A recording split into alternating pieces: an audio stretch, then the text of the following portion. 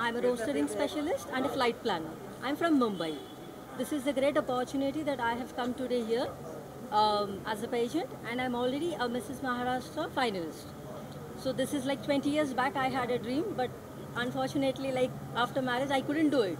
But this is now actually uh, this I have got the opportunity from my daughter. She is 21, and just I want to rock it.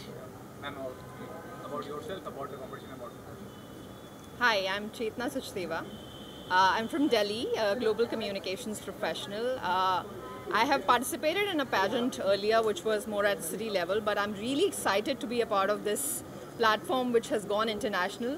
I think Tushar and Archana have done a wonderful job of creating a platform for women like us who want to prove themselves uh, even after marriage, who want to fulfill their dreams. So I think I'm really, really excited and very grateful to be a part of this platform. Thank you so much.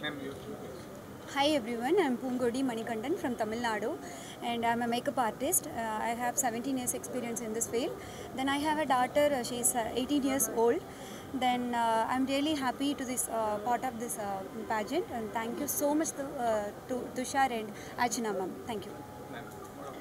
Hello मेरा नाम श्रुति सक्सेना है मध्य प्रदेश के एक छोटे से town से belong करती हूँ और रेलवे में गार्ड की पोस्ट पर हूँ या शादी के बाद में मैंने कभी सुना नहीं था ऐसा और सोचा भी नहीं था कि ये सब ऐसे मिलेगा देखने के लिए और हम लोग इस प्लेटफॉर्म पे आ सकेंगे।